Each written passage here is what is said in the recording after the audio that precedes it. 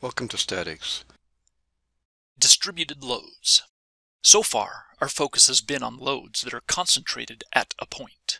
They are frequently referred to as point loads. However, we often encounter a different loading condition referred to as distributed loads. The example on the left is called a uniform distributed load. The example on the right is referred to as a linearly distributed load, or triangle distributed load. Instead of being concentrated at a point, a distributed load is spread out over a distance. Let's consider an example. Here is a concrete masonry block, commonly used in building construction. Let's say that one 12-inch long block weighs 20 pounds. If we stacked blocks 5 tall and 8 blocks long end to end we would create a distributed loading condition on this beam. A single stack of blocks would weigh 100 pounds. That single stack occupies a 12-inch section of the beam length. So we could say that this distributed load has a magnitude of 100 pounds per feet, oriented downward. I can model the beam like this, with a series of arrows pointing downward over the 8 foot length of the beam. The arrows show direction. The magnitude is 100 pounds per foot. A lowercase w is the notation often used for distributed loads. Now suppose we stack the blocks like this, with a 10 block stack on the left end, decreasing to 0 blocks on the right end. The magnitude of the distributed load at the left end is 200 pounds per foot. However, the distributed load changes as we move from left to right. We could simplify this load as a triangular distributed load and model the loading like this. Note that the linear distributed load goes from a maximum of 200 pounds per foot, oriented downward on the left, to 0 pounds per foot on the right. A distributed load can be simplified as a single resultant force acting at a point on the member. The resultant force is the sum of all the load over the member.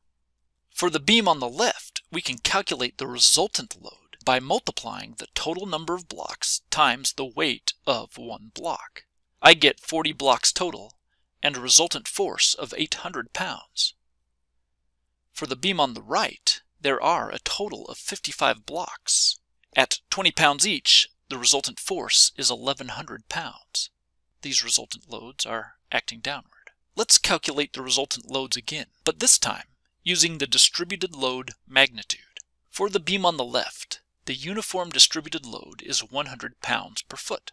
We can calculate the magnitude of the resultant of a uniform distributed load as the load times its length, 8 feet.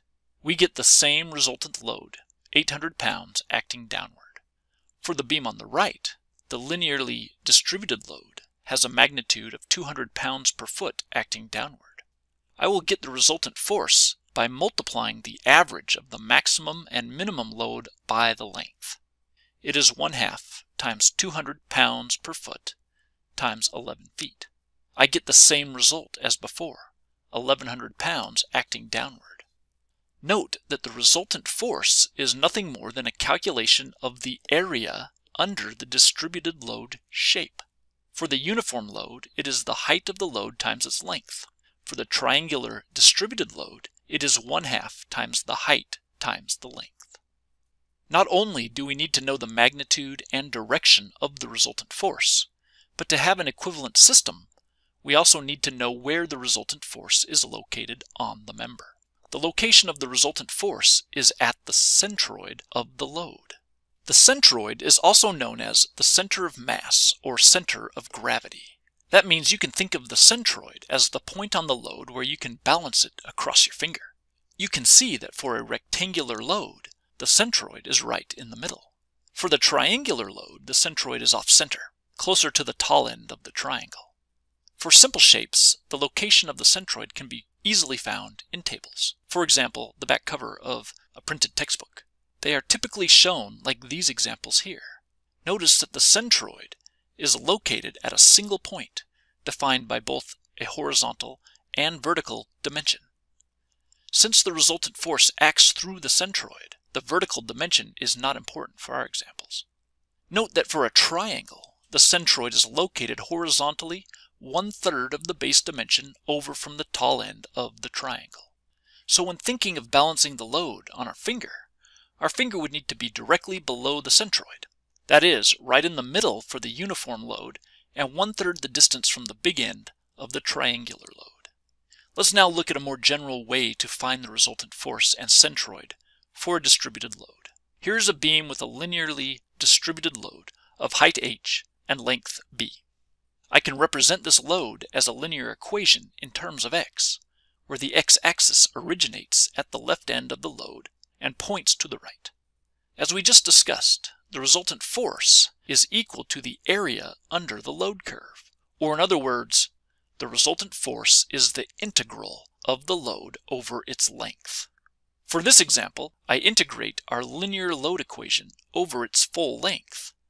Simplifying, in a few steps, I get a resultant force equal to the height times the base over 2, which is the area of a triangle. The resultant force direction is downward, since our distributed load is pointing down. We can find the location of the centroid by summing moments. The resultant moment caused by the resultant force is equal to the sum of the moments caused by the distributed load. We can think of the distributed load as numerous infinitesimally small individual loads stacked side by side along the beam. The resultant moment is the centroid distance x bar times the resultant force, negative by the right hand rule, and the sum of the moments is the sum of the x distance to the location of every individual load on the beam times its magnitude, defined as the w of x function. We add them all up with an integral. Rearranging the equation to solve for the centroid x bar, we get a general equation for calculating the horizontal location of the centroid of a shape. Let's use it to find the centroid of the load in our example. x bar is equal to the integral of x times the area under the load curve, divided by the resultant, which is the area under the load curve. Integrating and simplifying gives x bar equal to one third of the base dimension as measured from the origin, which is what we expected to get. In summary, for any shape of distributed load, we get the resultant force as the area under the load function, or in other words, the integral of the load function over its length. We get the location of the centroid as the integral of x times the load function divided by the integral of the load function. Often, calculus is not necessary. If a load can be divided into simple shapes, we won't need it. For example, let's say we wanted to find the resultant force for this distributed load. We can break this load into a single rectangle and a single triangle. The resultant force for the area under the rectangular uniform load is the load magnitude, 5 kilonewtons per meter, times its length, 3 meters. I get 15 kilonewtons. The resultant force for the triangular load will be the area under the load. Note that the height of the triangle is 12 minus 5, or 7 kilonewtons per meter. The resultant force is 1 half times the height, 7 kilonewtons per meter, times the base, 1.5 meters, which is 5.25 kilonewtons. The resultant force for the full load then is the sum of the resultants of the part. I get 20.75 kilonewtons. Now, to get the centroid location, we will set the resultant moment of the whole system about point O equal to the sum of the moments of the two separate parts. I write x bar times the resultant force, negative by the right-hand rule, is equal to the resultant force of the rectangular uniform load section times its centroid plus the resultant force of the triangle load section times its centroid, both negative by our convention. Now I solve for x bar. The centroid of the uniform load is right at its midpoint, 1.5 meters.